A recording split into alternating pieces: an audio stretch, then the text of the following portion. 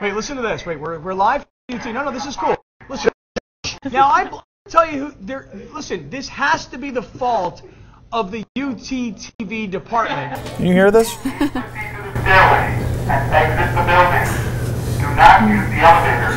There's a fire alarm going off here in the UT building. But The show must go on. show business, baby. It must go on.